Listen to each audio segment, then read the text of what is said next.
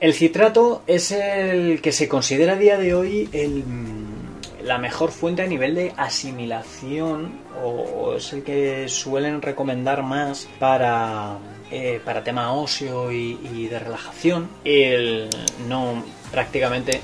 no tiene efecto laxante, entonces el citrato no sería una buena opción para limpiezas intestinales. Y aunque aquí un poco lo tenemos como limpiador de colon laxante natural, necesitaríamos más o sea, tomar una cantidad bastante importante respecto a otros tipos que vamos a ver ahora. Y nos va a ayudar pues para todo lo que es el tema de circulación de la sangre, es antiestrés, nos va a ayudar con la relajación, a fijar el calcio en los huesos y eh, también lo que es el tema de regeneración muscular. Entonces, eh, principalmente eh, se va a recomendar en,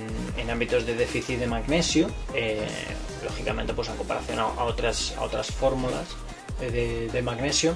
todo lo que es el tema de regular tránsito intestinal, por lo que es la, atracción del, agua, y